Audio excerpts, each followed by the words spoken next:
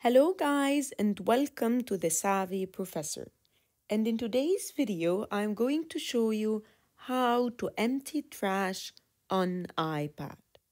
So the first thing that you need to do is to go to your app library and then search for files. As soon as you click on the files menu, all you are going to have is two different menus that opened one on the left hand side and one on the right hand side. As you can see under locations on the left hand side, there is something called recently deleted.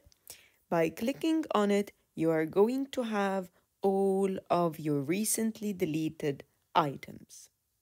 What you need to do is to click on select and choose whatever item that you want to delete and select all of the items that you would like to delete and by selecting them all you have two options that will appear at the bottom either recover or delete and by clicking on delete it's going to ask you if you are sure if you want to completely delete these items or not as this step cannot be undone and by clicking on delete they will disappear.